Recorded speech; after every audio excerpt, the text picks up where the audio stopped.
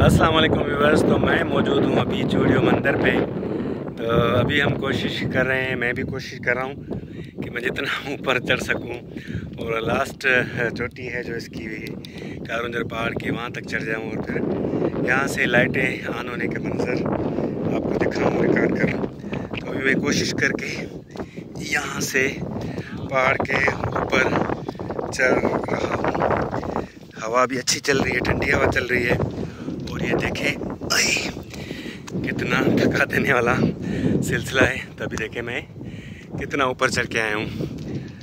तो ये है पाक इंडिया बॉर्डर पे कायम चूड़ियो गाँव। और ये चूड़ियो गाँव के मंजर है। अपना आपको मैं चारों तरफ़ से दिखा दूँ। तो ये देखते जाएँ।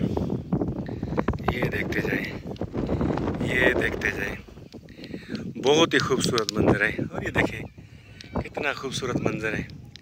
यहाँ पे ये देखें बकरियाँ आ रही हैं और दूसरी चीज़ें आपको रही और ये है,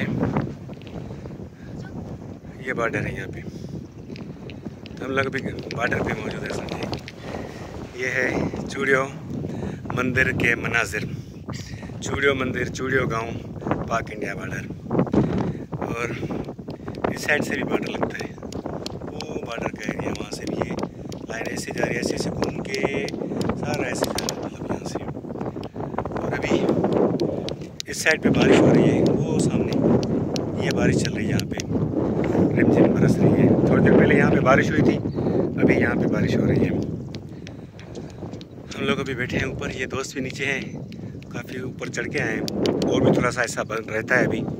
मुझे जाना है यहाँ पे इस झंडे के इस तक तो ये लास्ट है इसकी। दूसरी एंड वो है। उस पर मैंने देखा था, मैंने कहा चलना मुझे यहाँ पे था।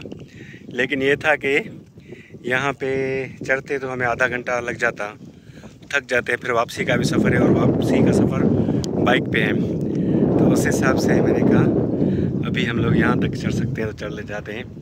उसके बाद करेंगे रिकॉर्डिंग लाइटों की। ठीक है दोस्तों, अल्लाह हाफिज़।